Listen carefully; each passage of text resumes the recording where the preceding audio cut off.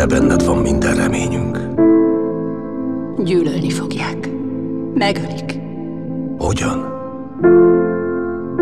Isten lesz számukra.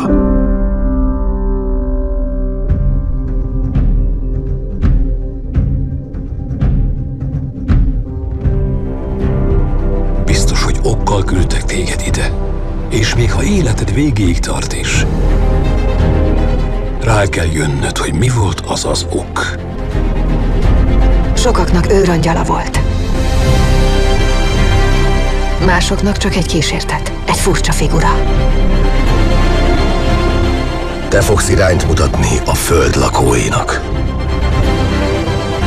Követni fognak, melléd állnak majd. És egyszer, együtt, csodákra